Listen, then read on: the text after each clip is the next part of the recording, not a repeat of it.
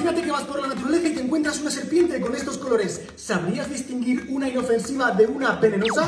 Bueno, pues esta no lo es. La falsa coral se asemeja a la verdadera por su patrón de colores y esto lo hace para persuadir a sus posibles depredadores. Mucha gente cree que por el color de sus anillos o por la forma de estos se puede llegar a distinguir. Hay dichos en Latinoamérica como rojo y amarillo mata al chiquillo, pero piensa que la naturaleza y todos sus seres están en constante evolución y ya se han encontrado falsas corales como esta con el amarillo y el rojo en contacto como si fueran totalmente las venenosas, por lo que la forma más fiable para asegurarnos de que es venenosa o no es fijarnos si presenta en su cabeza la escama L'Oreal. Pero fíjate a qué distancia tengo que ponerla para comprobar si está esta pequeña escama. Sí que lo mejor siempre te diré que es no manipular los animales salvajes, aunque son inofensivas, siguen siendo animalitos hostiles. Eso sí extra, un músico que se le ha ido la cabeza y ha fundado un refugio de animales exóticos. Si quieres dedicarte como yo a ser cuidador, cuidadora de núcleos zoológicos, pásate por mi campus. Te deseo un feliz día.